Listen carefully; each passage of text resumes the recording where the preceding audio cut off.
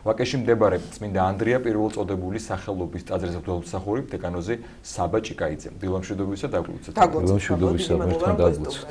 აი დიდი მადლობა მოგზაინებისათვის. დღეს მე ვფიქრობ საკმაოდ აქტუალურ თემაზე გვიწევს საუბარი, ფანატიზმი და რადიკალიზმი, რომელიც სამწუხაროდ ძვინვარებს როგორც ერში, როგორც საზოგადოებაში, ასევე მრეულშიც და შეიძლება ეკლესიაშიც არის ეს თემა. როდესაც ბევრს გონია რომ დაუშვათ რწმენა და რელიგია და შეიძლება თავდადებულობა ქრისტიანობისათვის და ეკლესიურობისათვის ზოგისთვის აი ფანატიზმამდე მიდის ზოგიც რადიკალიზმამდე რომელსაც ჩვენ ვიცით რომ წმინდა მამების გარდამოცემით მათ შორის დღეს მოქმედი სასულიერო პირების თუ იგივე მისი უწმინდესობის არაერთი შეგონების ფონზე ფანატის არანაირი კავშირი არ აქვს რელიგიასთან, არანაირი კავშირი აქვს ქრისტიანობასთან, მათ შორის თუნდაც მოწამეობამდე ქრისტიანობასთან, ხო? და ასევე რადიკალიზმ უნებრივია, როცა რაღაცები ყველაფერი ზღვარცდება. ყველგან უნდა იყოს ოქროშუალედი ალბათ. თუმცა აი ამ პარალელის გავლება, ამ ბეწვის ხიდის გავლება ეს არის სწორედ ჭეშმარიტი რწმენა და ეს არის საკმაოდ რთული რომ არც იქით იყოს და არც აქეთ. დიახ. მოგახსენებთ მოგესალმებით კიდევ ერთხელ. ეს მართლაც უაღრესად მნიშვნელოვანი და აქტუალური თემა არის დღესდღეობით. და არა მხოლოდ დღესდღეობით, მოდი ესე ვთქვათ, ალბათ ეს რაღაცა ყველა დროის საჭირო საკითხია, ხა თქვენ ახსენეთ გახარო აი ერშიც და სამწუხაროდ ეკლესიაშიც. რასაკვირველია ზოგადად ადამიანის დამახასიათებელი თვისება. სხვა შორის აი მის უწმინდესობა ძალიან ხშირად უთქვამს ხოლმე ეს თავის კადაგებებში, რომ ყველაზე საშიში არის რადიკალური აზროვნება და ერიდეთ ამას, აი კატეგორიულ აზროვნებას ახსენებს ხოლმე მის უწმინდესობა. ეს ერთი და იგივე. ანუ რაზე არის აქ საუბარი? რა თქმა უნდა, ზოგადად ადამიანისთვის ძალიან საშიშია და ერშიც აი ერის მიმდინარე პროცესში ერისთვისაც ძალიან რთულია რადიკალური აზროვნება და მით უმეტეს, როდესაც ესეთი რამე ხდება უკვე ეკლესიაში, იქ წარმოუდგენელ შედეგებამდე მიყავს ხოლმე ეკლესია ამას. და რატომ? რადიკალიზმი და ფანატიზმი, აი ეს ჩვენ ეხლა ორი ეს რაღაც ვახსენებთ, ხო? ეს ფაქტიურად ერთი და იგივე. ან შეიძლება ესეც ითქვას, რომ რადიკალურ აზროვნებას მიხავს ადამიანი ფანატიზმის გმირებამდე. ანუ რა არის რადიკალური აზროვნება? და მოდი განვიხილოთ ახლა ესეთი სასულიერო ჭრილში ვთქვათ, რამ შეიძლება გამოიწვიოს, რამ შეიძლება მიიყვანოს ადამიანი აი რადიკალურ აზროვნებამდე. მე რაც მიფიქრე ამასთან დაკავშირებით და წამიკითხავს კიდევაც მინდა მომთან ხომ?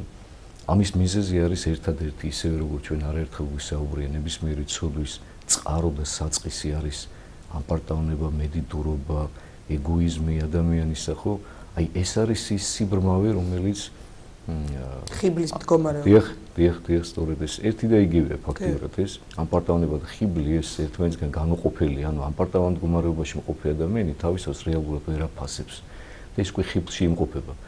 და აქედან გამომდინარე მიდის უკვე ადამიანი არარეალურ აზროვნებამდე. ანუ ეს ერთი და იგივეა, რადიკალური აზროვნება, არარეალური აზროვნება. და ნახეთ რა ხდება. აი ჩვენ არაერთხელ ვისაუბრია, მე მგონი თქვენს ეთერშიც ქონდა ამ თემასთან დაკავშირებით საუბარი. თუ არა და მე სიამოვნებით გამოვიყინა თქვენს ეთერს და ვიტყვი ამასთან, იმიტომ რომ ეს პირდაპირ კავშირშია ეს თემა ზუსტად იმ თემასთან, რაც ახლა ჩვენ საუბრობთ. განკითხვა აი ამ თემას, აი ძალიან ბევრჯერ უთქვამთ ჩემთვის და დაუსვათ შეკითხვა და ალბათ ბევრი მოწვარი დაემოწმება, რომ ერთ-ერთი ყველაზე გავრცელებული ცოდვა, რომელსაც ძალიან ხშირად ინანიებს მოწმუნეს, გახლავთ განკითხვა. მაგრამ საწყორო ზოგი ვერავლებს ზღვარს, სად გადის ცოდვის ზღვარი, როდესაც განეკითხავ შენ. რატო ვახსენე მე ხა ეს სიტყვა, იმიტომ რომ მაგალითად წმინდა ილია მართალი, ილია ჭაჭავაძე სიტყვა განკითხვას ხოლმე და მხოლოდ დადებით კონტექსტში იხსენიებს თავის პუბლიცისტურ წერილებში და ის ბრძანებს რომ განკითხვა ეს არის უნარი ადამიანისა ღვთისაგან მონიჭებული რომ განარჩიოს ერთმანეთისაგან თეთრი და შავი კეთილი და ბოროტი. მას რაშია საქმე და ეს მართლაც ასეა ჭიშმარიტად ასე ამით განსხვავდება ადამიანის ცხოვრებისაგან რომ მას შეუულია აზროვნება მას შეუულია გარჩევა მას შეუულია არჩევა. ხო? ანუ განკითხვის უნარი ადამიანს ღვთისაგან მიეცა და ეს ერთ-ერთი ის უნარია, რითიც ადამიანი სწორედ უფალს გავს. მაშინ რატომ არის ნათქვამი, რომ განკითხვის უფლება და უფლებამოსილება აქვს მხოლოდ ღმერთს? იცით რატო? იმიტომ რომ ღმერთი მხოლოდ სიყვარულით განეკითხავს. და მოდი აი ნახოთ, აი სწორედ აი აქ გადის ახლა როცა მიწევს მე კერძო საუბრები მოწმუნებ და ყოველთვის ვეუბნები ხოლმე რა რომ განკითხვა ყოველთვის არ არის ცოდვა. თუ კი შენ სიყვარული გამოძრაობს, თუ კი შენ სიყვარულით საუბრობ, თუ კი შენ სიყვარულით განიკითხავ. ანუ ხილებას გულისხმობ თავის. არა მხოლოდ ხილებას, თუნდაც საუბარს მასთან დაკავშირებით, თუნდაც სხვა ადამიანთან. როდესაც შენ სიყვარული თუნდაც შენს გულში, იმიტომ რომ შენს გულში შეიძლება არც არავის ელაპარაკებოდა, მაგრამ შენს თავში ხდებოდა ეს ყველაფერი, ხო? როცა შენ სიყვარული გამოძრაობს, ეს არ არის სუდო. აი ნახეთ მე დავფიქრებულ ვარ, რომ აი რა არის ჩვენი პირველი რეაქცია, როდესაც ჩვენს ახლობელ საყვარელ ადამიანზე გავიგებთ, რომ რაღაცა ცუდი გააკეთა, რაღაცა დააშალა. აი რაღაცას გვეტყვიან, მოვიდა ჩვენამდე ინფორმაცია, რომ ჩვენმა ცვიფასმა საყვარელ ადამიანმა ნუ რაღაც საშინელება გააკეთა. ჩვენი პირველი რეაქცია რა არის? არ არსებობს ის ამას არ გააკეთებ. გამორიცხული არა ეთყობა ვიღაც სხვაზე ლაპარაკ, თორე ხა შენ იმას არ იცნობ, ამას არ აი ნახეთ როგორია ჩვენ ის კი არა ჩვენ თვალითაც კი რო ვნახოთ მაშინაც კი შეგვიძლია და ჩვენ მზად ვართ უმალ ჩვენ თვალს არ დაუჯეროთ ვიდრე ის დაუჯეროთ რომ ჩვენმა საყვარელ ადამიანმა ესეც საშინელი რაღაცა გააკეთა. არ გვინდა ხო?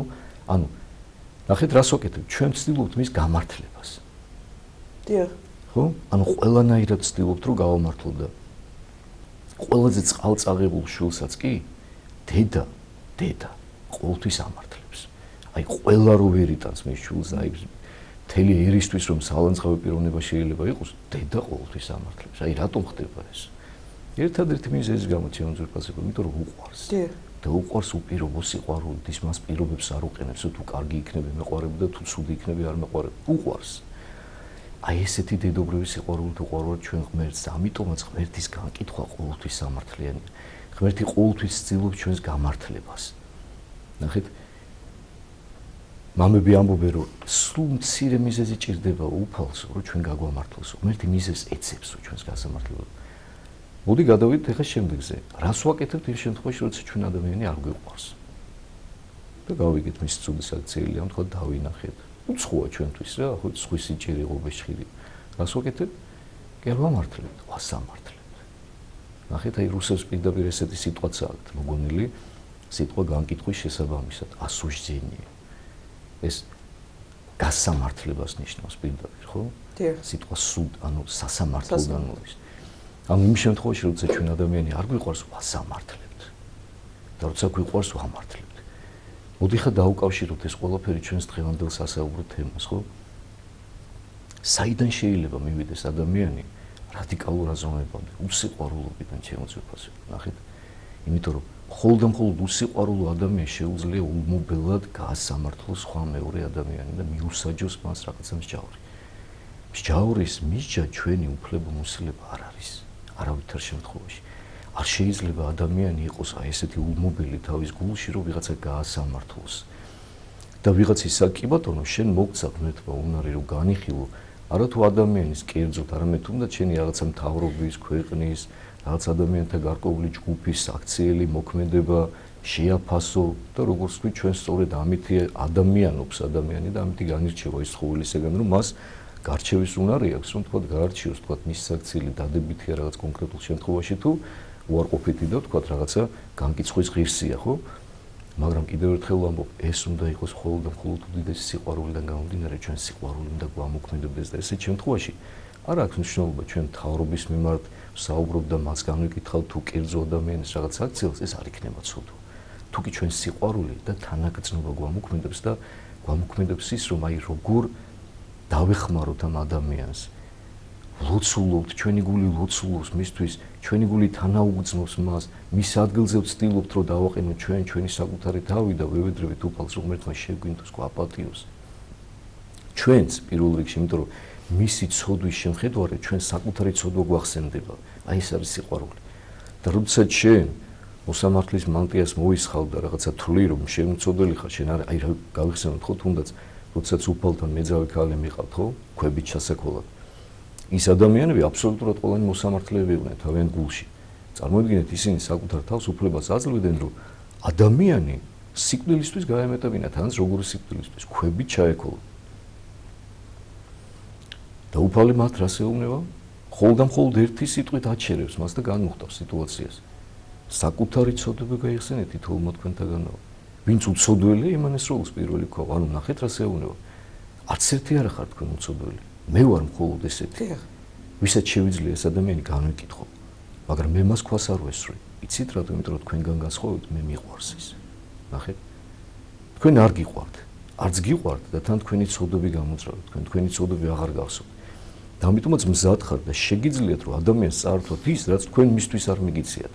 სიцоცხლე აი ესე დონეზე დაგაბრმავა თქვენმა ცოდვამ თქვენმა ულმობელობამ თქვენმა ამპარტავნებამ. დაგავიწყა თქვენ თქვენი საკუთარი თავი. და ამიტომაც შეახსენებს მაგ ეხლა რა ხდება?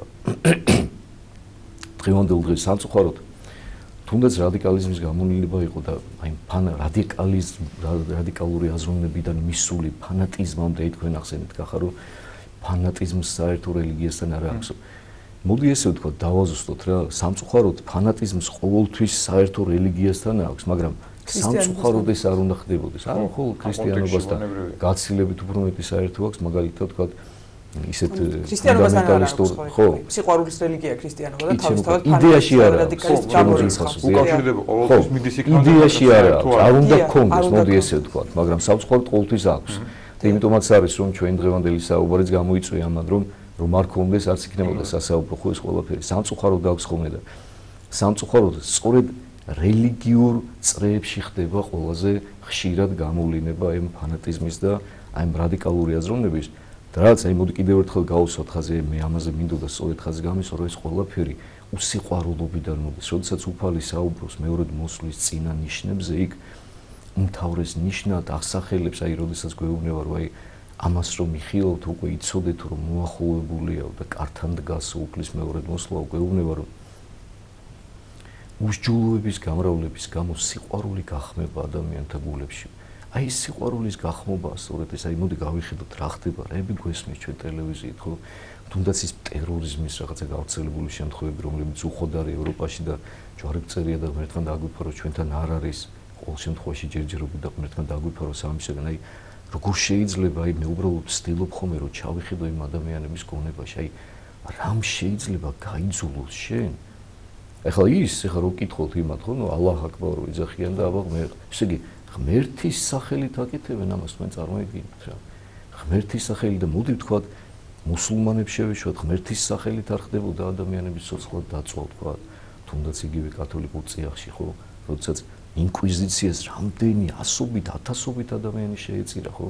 იმ რაღაც შავმო პერიოდში და მოდი სიმართლეს თვალი გავუსწორო და თქვა ისიც რომ თვითონ მართლმადიდებლურ წიაღში სამწუხარო ძალიან ხშირია ხო? ეს თქვა რადიკალური აზროვნების და ფანატიური აზროვნების გამოვლინებები ხო? თუმცა საქართველოს ეკლესიის ისტორიას მე მგონი უფრო ნაკლებად ახსოვს ხო ესეთი აგრესიის გამოვლინება. ჩემი ძირფასო ნაკლებად.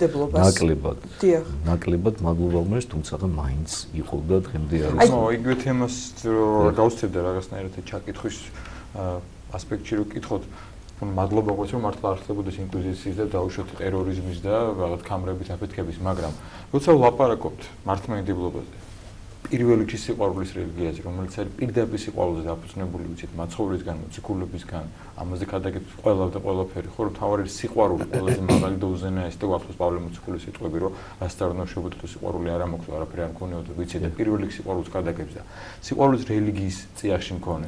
ეს იქნება დაუშვათ სასულიერო წრის თუ მრევლის, ოდესაც რაღაცას თუნდაც მისი განზრახვის წორს აკეთებს ეს ხდება დარბევით, ცემით, ჩხუბით, ეკლესიიდან გაგდებით, რაღაცა დაждით. ეს რამდენად შეიძლება? ეს რამდენად არის სწორედ ფანატიზმთან და რადიკალისტთან კავშირში? და მასთან დარწმუნებული რომ შეიძლება ეგონოთ ამ ადამიანის წრეას მონებრივია რომ ის აკეთებს წორს და აკეთებს ქრისტეს სახელით და ეკლესიის სახელით, მაგრამ რა ხო არ არის გადაცდომა სწორედ ამაში რომ თუ სიყვარულის რელიგია ხარ და თუ შენ ქადაგებ და თუ ასწავლი დარბევას გამორიცხავს რა თემა ტყეპით და ყვირილი და გინები და გაგდები და დაჟი და შენ ცხონდები შენ ვერ ცხონდები ესეც აი სხირათ არის. ეს არ არის პირდაპირ ფლის უცებჭარი რომ ვინ ცხონდება და ვინ არ ცხონდება ვინ ვიცი. გასაკვირველია სწორედ იგივეა ანუ კი ბატონო დიდი მადლობა ამ შეკითხვისთვის იმიტომ რომ ეს პირდაპირ აი მოდი დავაკონკრეტო და უფრო ახლოს მივიდე ჩვენ სათქელთან ჩვენ დღევანდელ სათქივართან ხო სამწუხარო ძალიან ხშირია ესეთი შემთხვევები, როდესაც აი პირადად მე ახლა მე რასაკვირველია არც ერთ სასულიერო პირს არ ვაყენებ. ბუნებრივია შემთხვევაში რა არის საუბარი. ხო, რა თქმა უნდა, ჩვენ კონკრეტულს არავის არ ვახსენებთ, ამიტომ ეს ჩვენი მხრიდან არ არის არანაირად თქვა რაღაცა განკითხვა იმ უარყოფითი კუთხით რაც ჩვენ ვსაუბრობთ. უბრალოდ სამწუხარო ფაქტია. მე ალბათ ბევრი მოძღვარი დამეთანხმება იმაზე და თავისი ისტორიაც გაახსენდებათ, რასაც ხელ მე ვიტყვი რომ ძალიან ბევრია სამწუხარო, ძალიან ხშირია ესეთი შემთხვევები, როდესაც სასულიერო პირებისგან დაბრკოლებული ადამიანები მოდიან ჩემთან, რომლებიც მეუბნებიან რომ წლების განმავლობაში მოწყვეტილნი იყვნენ ეკლესიიდან. მოძღვრის ერთი უკმეხი საქციელის გამო. აი თუნდაც თქვა რაღაცა მოკლე კაბა ეცვა თქვა ქალბატონს და ამის გამო რაღაცა უხეშად დაესა გაესაუბრა მას სასულიერო პირი ან თქვა რაღაცა ტუჩსაცხი ეცვა ან ესო ან თქვა რაღაც შარულით იყო შემოსული რაღაცა მოკლე მკლავებიანი რაღაცა. მომენტის რაღაცა ჭირის გამო მოვიდა, რა ვინ არის? რასაკვირველია, რასაკვირველია, ხო? და ძალიან ძიმეა ჩვენ გვახსოვს რომ უფალი გვეუბნება პირდაპირ რომ ერთი ადამიანიც კი რომ დააბრკოლოთო ჩემს მიმართო მომავალი რომ გერჩინოთ რომ საერთოდ არ დაბადებულიყავით წარმოიდგინეთ ახლა თქვენ რამ ძიმე მდგომარეობაში შეიძლება ჩავარდეს სასულიერო პირი ჯერ ზოგადად ეს ყველა ქრისტიანს ეხება და მით უმეტეს როდესაც სასულიერო პირი ესე დაუდევრად ეპყრობებ მოწმუნეს ქრისტეს ხოვარს, აი ჩვენ ერთი რამე გვავიწყდება სამწუხაროდ ხშირად სასულიერო პირებს, ჩვენ გონია რომ ჩვენი მრევლი ყავს. ჩვენ არ ყავს ჩვენი მრევლი. ჩვენ ქრისტემ ჩაგვაბარა თავის სამწყსო, თავისი მრევლი. უფალი პეტრეს, როდესაც მას აღუდგენს ყველა მოციქულებრივ ხარისხს აღდგომის შემდეგ, სამჯერ ეკითხება, გიყვარ ვარ პეტრე? და როდესაც პეტრე პასუხობს, რომ ჰე უფალო, შენ იცი რომ მიყვარ ხარ? ამ სიყვარულის დამადასტურებლად უფალი მხოლოდ და მხოლოდ ერთ რამეს თხოვს პეტრეს.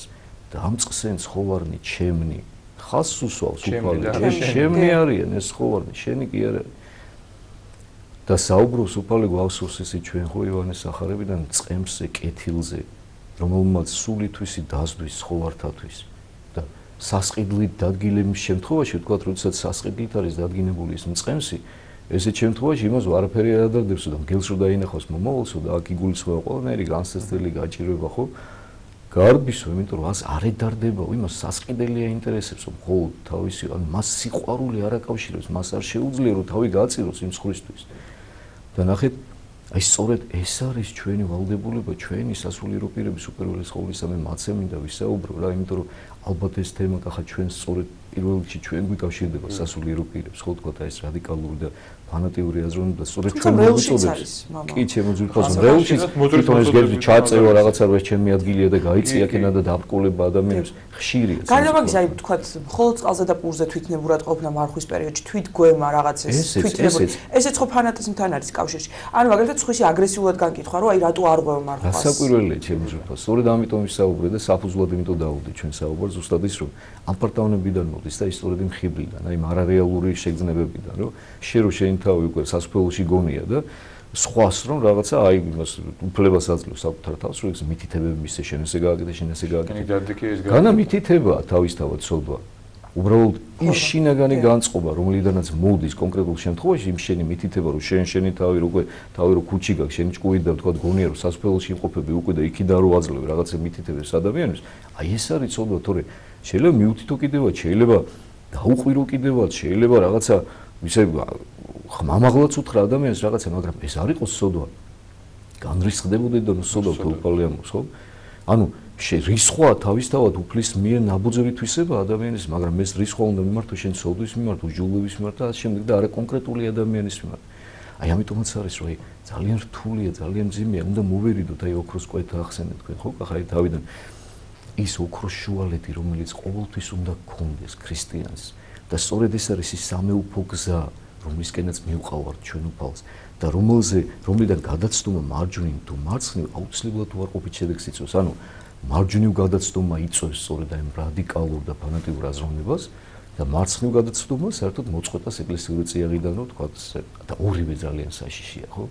ანუ რა თქმა უნდა, ისევ და ისევ სამეუფო გზა, როგორც სერაფიმ როუზეც გვეუბნებოდა და მას წინ მან წინიც აქვს დაწერილი ამასთან დაკავშირებით და მას ეს ეთქმის, იმიტომ რომ იმდენად რთული ცხოვრება აქვს მას გამოვლიდა ძიების პროცესი სანამ ჭეშმარიტებამდე მივიდოდა რომ ის მიხვდა რომ სწორედ ჭეშმარიტება სწორედ სამეუფო გზაში ანუ აი უფლის მიმართ მიმოვალ აი ამ ოქროს შუალედში ოქროს შუალედში რომელზეც ძალიან ხშირად საუბრობს ხოლმე მისი უწმინდესობა და რაც არის ძალიან ძნელი პრინციპი ადამიანმა ალბათ რომ დაიცვას. მაგრამ აუცილებელი არამედ ისედაც ცხოვრების შეუძლებელი ეს უზარმაზარი თემა ამას ჩვენ ვერ ამოვწურებთ სამწუხაროდ მაგრამ დიდი მადლობა მამაო ჩვენ რა თქმა უნდა მართლა რთული თემაა და შეიძლება ფონდინი მეტერი დაჭirdეს უბრალოდ თქვენ დრო გარკვეულწილად შეგხვებოდით მადლობა ამისთვის თქვენ. შეგახსენებთ ფანატიზმზე რადიკალიზმზე გვესაუბრებოდა ვაკეში მდებარე წმინდა ანდრია პირველწოდებული სახელობის ტაძრის ღვთისმსახური დეკანოზის საბაჭიკაიცე